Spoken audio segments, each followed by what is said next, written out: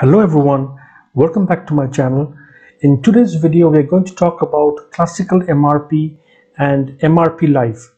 So we are doing a comparison between the classical MRP versus the MRP Live, which is in S4 HANA. Now, if you talk about the difference, MRP Live is capable of planning numerous materials for many plants.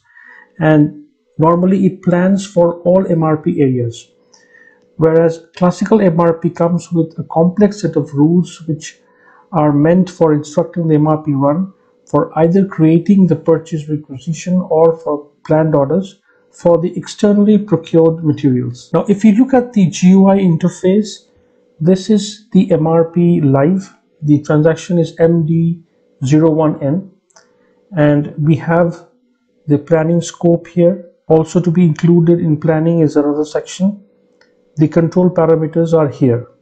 Now if we compare it with the classical MRP which we do with MD01 or MD02, the controllers are more in the classical way wherein we have the processing key and we have options of creating purchase requisition attributes of uh, planning scope is more in mrp live whereas in classical mrp we just have two options. So in terms of gui interface this is the basic difference between md01n and md01 if we talk about mrp list in classical mrp the mrp parameter create mrp list can be used to control whether MRP list should be created or not. Whereas in MRP Live, there are no MRP lists that are written by the MRP Live as the lists were intended for checking the MRP result. If we talk about scope of planning, the parameter scope of planning can be used to combine group of plants or MRP areas where in the new MRP Live, the scope of planning is not supported and the MRP Live can plan many materials in many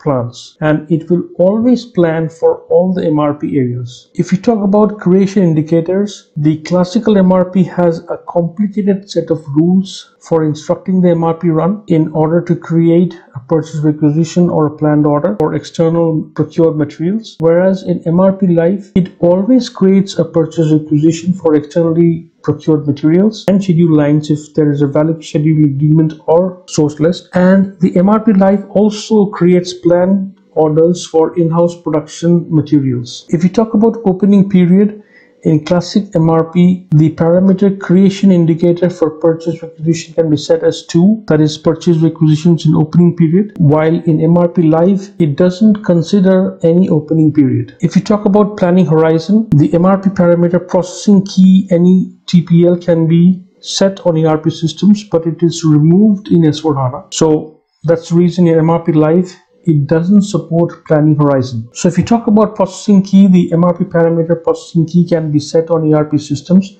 but it is removed in S4HANA. The indicator regenerative planning in MRP area replaces that parameter of processing key. So if you set this parameter, it would work similar like processing key NEUPL in classic MRP. So if you talk about scheduling on ERP systems, if the MRP parameter scheduling is set to 2 then it will support lead time scheduling capacity planning detailed planning. Everything will be supported. In s4 hana only detailed scheduling is supported. If we talk about planning mode the classic mrp t codes have three options for planning mode. That is adapt planning data re-explode BOM and delete recreate planning data Whereas in MRP Live, there is no planning mode. Planning mode 1 works different from classic MRP. If we talk about simulation, the T-code MD02 has two indicators that is simulation mode and display results prior to saving to simulate MRP.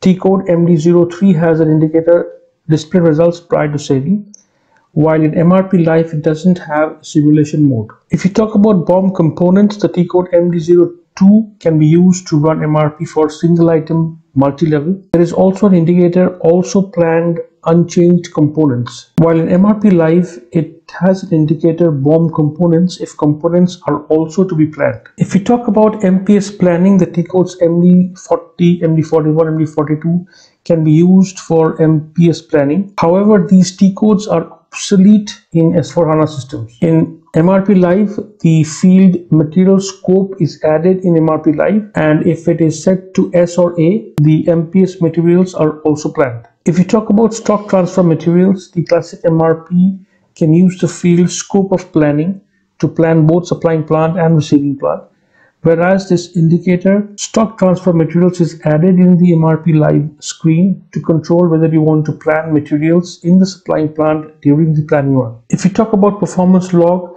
the report RMMDMONI and RMM DPERF can be used to analyze classic MRP performance whereas in MRP Live there is a new field that is called name of performance log which is added in MD01 and the performance logs can be later checked by a new T code that is MD underscore MRP underscore perf log. And if you talk about MRP controller user exit M61 X0001 can be used to influence materials that are selected to be planned whereas the fields, product group, and MRP controller are added in MRP Live. If we talk about user exit key, the user exit can be used to influence which materials are selected which are to be planned in the classic MRP whereas this user exit is not supported by the T code MD01 and the BAPI can be the BAPI can be used to implement own logic. So that was all about classic MRP and MRP Live. If you got value from the video, please like, comment, share and subscribe to my channel. Till we meet again in another video,